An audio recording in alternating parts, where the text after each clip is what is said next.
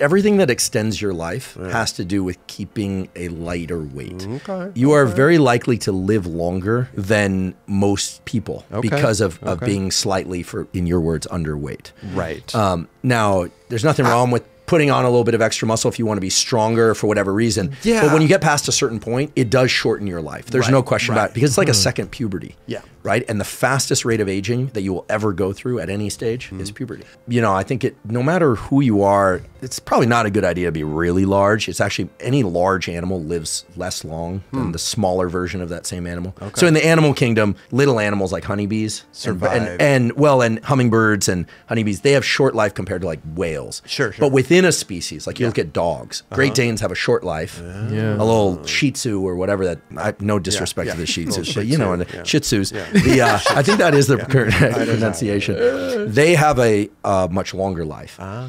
and it's because of the dosing of this one gene called insulin growth factor. So uh, Andre the Giant died young. Uh, people that have acromegaly, you know, the forehead Mm. Yes. ridge and the huge hands, they don't live very long because all their organs are huge. and they're make they have to produce a lot of stuff to keep the body running, Yeah. right? People ask me this kind of stuff all the time. Yeah. Like, what do I do? How do I sleep better? How do I stop stressing? And usually I find that people are not serious, meaning they want an answer, but they don't want to do the work. Right. Yeah.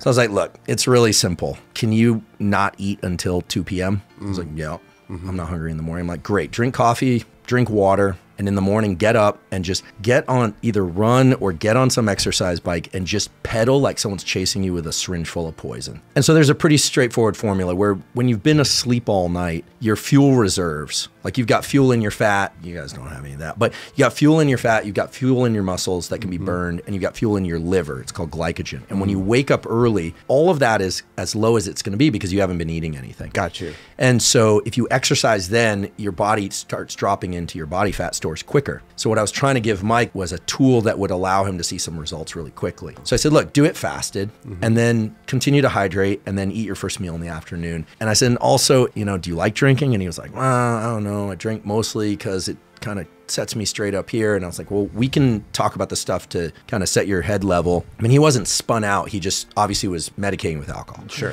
And not in a severe way because he's fully functional. He's an amazing photographer, Yeah. raised two kids. Yeah. And so I Sure, want to be sure. clear about what we're talking about here. Yeah. I didn't detect anything dysfunctional about him. He was just reporting to me that he wanted some assistance. Right. So I said, you know, would you be willing to drop the drinking or, you know, pare it back? And he said, sure. So, okay. So explain that. And I said, look, and, you know, here's my number just for the anxiety and stress management. I'll give you some breathing, some respiration tools that work really well mm-hmm. that are not, you know, woo mysticism. Mm-hmm. It's not, I'm, gonna, I'm not going to tell you to meditate 30 minutes a day, although that's a cool practice too. Mm-hmm. I'm going to give you some tools you can use in real time as you're working hard and dealing with whatever it is you're dealing with in life. Okay. So that ends, the conversation ends. And then a year later, Mike reaches out and says, Hey man, thanks for all that stuff you gave me. I was like, oh, cool. And he's like, I lost 60 pounds and I haven't had a sip of alcohol since we talked last and feeling pretty good. Damn. And I was like, so how did you do it? He's like, well, I get on the bike and I pedal as hard as I can and like someone chasing me with a syringe full of poison. and, uh, I was like, he remembered. You know,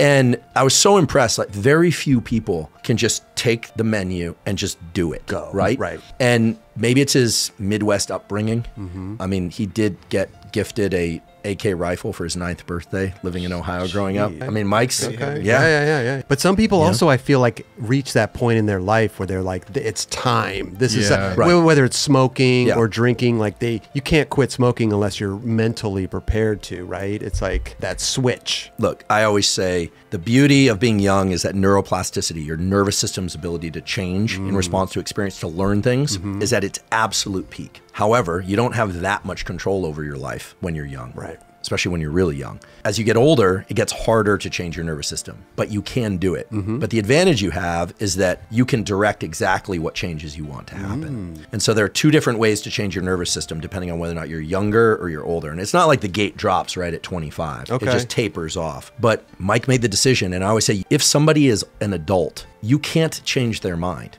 Right. You literally can't. They have to make the decision to do that. And he flipped the switch. He flipped it. He flipped it, and he's still there. And um, I think he feels much better.